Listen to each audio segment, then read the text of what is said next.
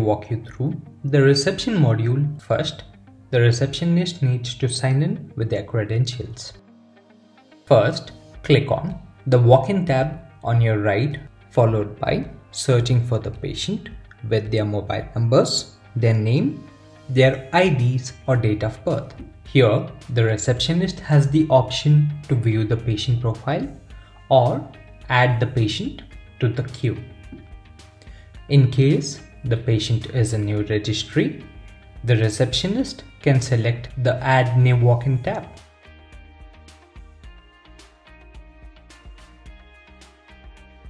This is followed by the receptionist entering all the relevant patient details under the three tabs that are available to them.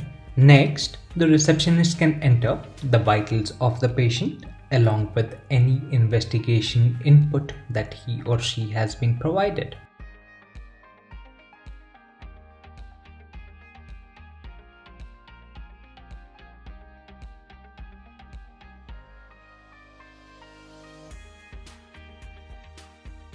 Under Bills and Payments tab, the receptionist can create an itemized bill.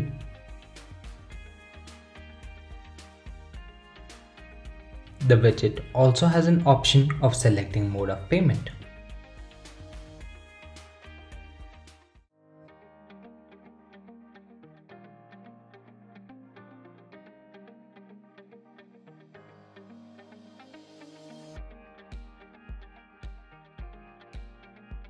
Thank you for watching.